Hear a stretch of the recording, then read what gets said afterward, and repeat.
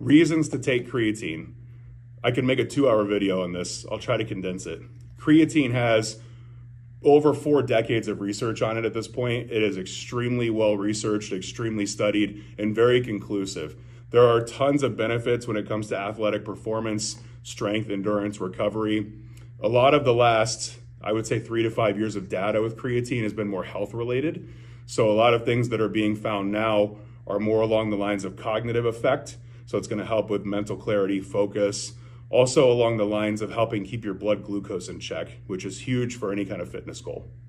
Creatine is something your body makes every single day. It's also in every meat you put in your body.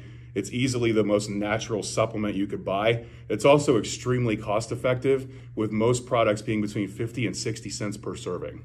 If creatine is something you haven't taken before, I highly recommend you take it.